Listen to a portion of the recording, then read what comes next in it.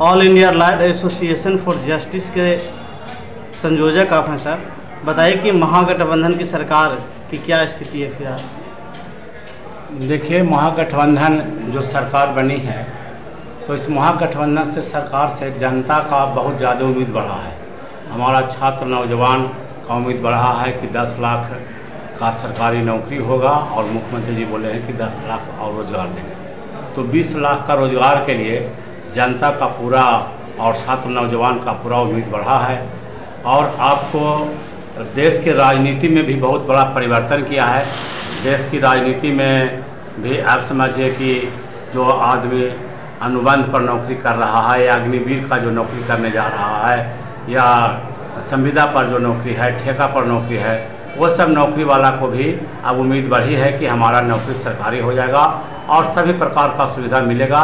कर्मचारी जिसको नया पेंशन नीति है, उसे भी उम्मीद बढ़ा है कि अब हमारा पुराना पेंशन नीति आ जाएगा।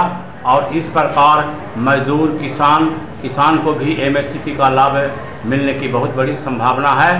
तो हम समझते हैं कि अब वर्तमान सरकार को चाहिए, जो महागठबंधन की सरकार बिहार में है ये आपको मंडल कमीशन का जो पूरा आपको आरक्षण उसमें प्राप्त है, जिसमें 10 परसेंट आरक्षण अगली जाति को भी है, वहाँ 10 परसेंट आरक्षण मिला है। लेकिन पिछड़ी जाति का जो आरक्षण है, उसको अब आरक्षण को, उनको 75 परसेंट तक पहुँचा जाना चाहिए। पचहत्तर परसेंट जब आरक्षण हो जाएगा तो देश की राजनीति में बहुत बड़ा भूचाल आ जाएगा। और नीतीश जी पर और तेजस्वी जी पर पूरे देश की जनता का पूरा भरोसा बढ़ेगा।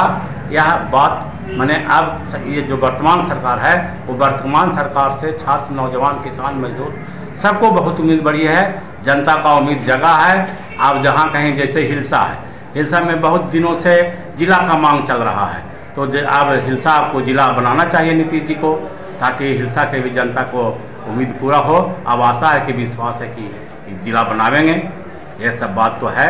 आज के सरकार से बहुत ज़्यादा उम्मीद है। यह सरकार यह काम करेगी।